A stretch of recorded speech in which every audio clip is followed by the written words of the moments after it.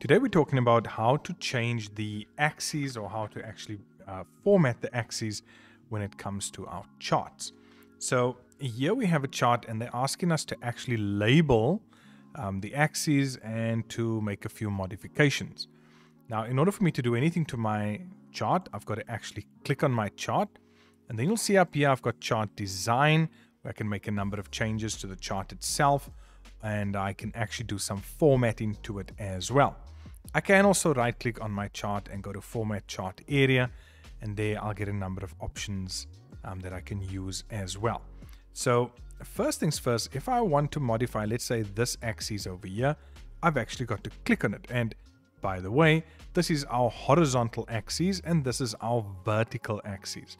So I'm going to click on that, actually right click on it and format axis. And then you can see I have a number of options on the right hand side.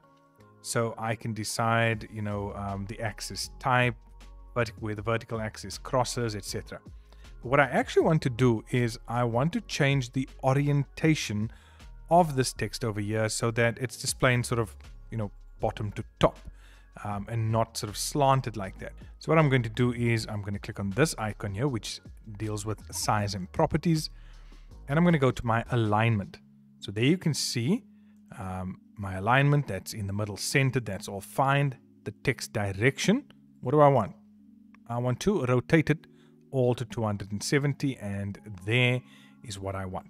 Okay, so that's sorted out. Now I want to deal with the other axes. And if I click on that one, um, what they actually want me to do is they want to have more increments here uh, when it comes to the marks. So if I click on that, or if I right click on that, and I go format axes, then you can see over here my units. So I'm going in 20s, so 0 and then 20. So I'm going to change this and I'm going to make it 10 and there you'll see that changes. Now when I want to add labels, I've got a number of ways that I can do that. I can click on this plus over here. It gives me the chart elements and I can add, there you can see axis titles. I can also go up to my chart design. I can go add chart element and add axis titles. And let's go with the horizontal and I can just type in the subjects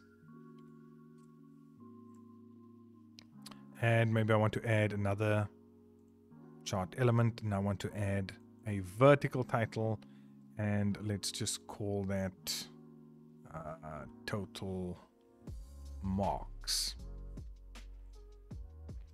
okay and that's just one example of how I can uh, format my axes. So here's another example where they're actually asking me to give the chart an appropriate title and label. Now we can see that this is dealing with sales. This is dealing with the total sales in all provinces.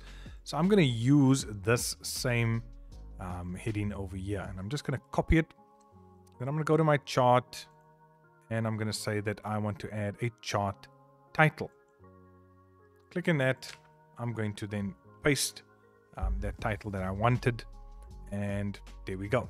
I've now added my chart title.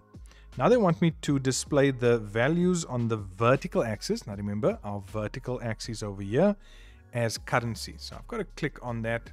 I can right click on it, format, and then I want to go down to number. As I scroll down, I've got different categories of numbers in terms of how it can display.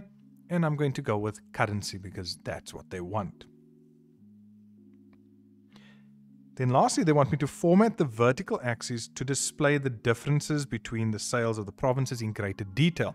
In other words, they want this to be in more detail. Now, we can see that we don't have sort of numbers above about 180,000.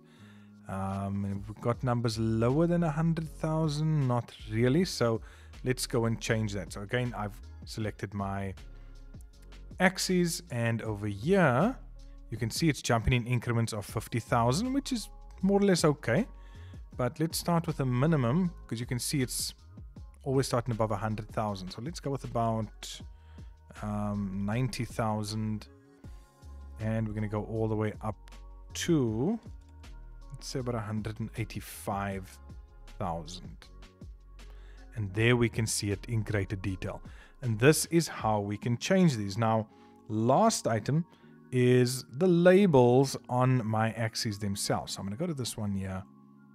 Just close this. I'm going to go to axes titles.